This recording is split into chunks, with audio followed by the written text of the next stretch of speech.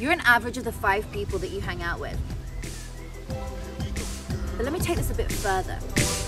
The number one motivational speaker under 40 in the world. Got 1 billion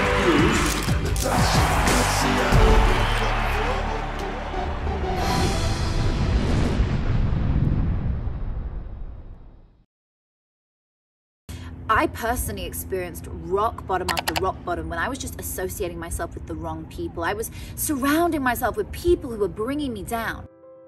You truly are an average of what you surround yourself with, even if you haven't met the people.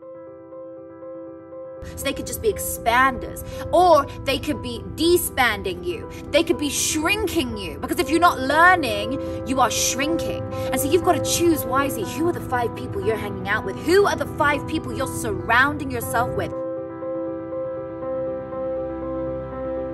If they are overachievers, then your average will raise. You'll become an overachiever. If they're all multimillionaires and really doing something special in their life, then you're bound to do something special yourself too because you're inspired by these people.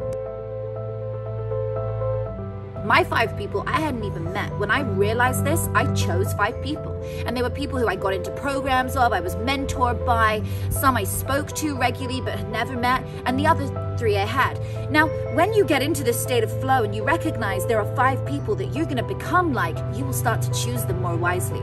You've got to dissociate from people that don't serve you. You've got to disconnect from toxic energies and choose five people around you that you're going to spend time with to be more like, to understand how they got to where they are now. And then you too will surely get there faster.